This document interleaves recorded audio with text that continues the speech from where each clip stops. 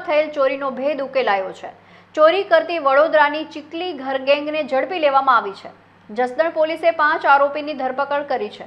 જસદણની ગેબનસા સોસાયટીમાં ચોરી થઈ હતી. ચોરીની સમગ્ર ઘટના સીસીટીવીમાં કેદ થઈ ગઈ હતી.